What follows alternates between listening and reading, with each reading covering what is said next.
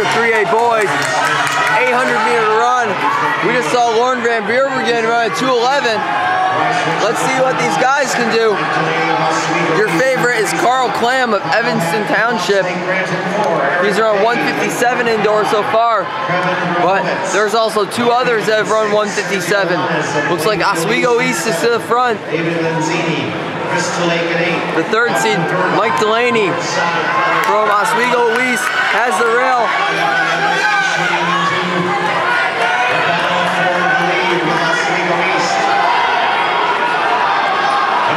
And there's been a lot of movement in the last lap.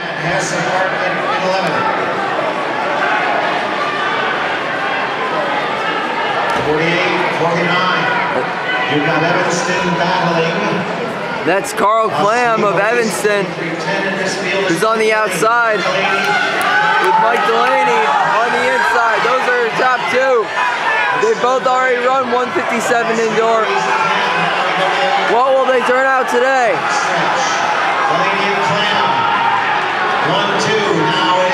And there is Clam surging to the lead. And he has 250 meters to go. But Mike Delaney is not giving up on this race as he goes to the lead.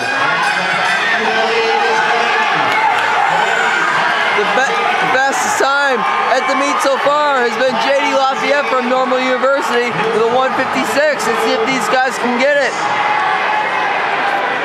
It is still Delaney and Clam, your one-two. Delaney, Clam. Three runner is Mohammed Marmion. It's the It's Clam.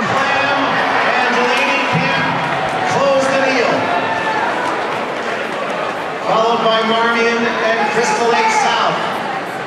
156, 67, the win for Evanston and Carl Clam.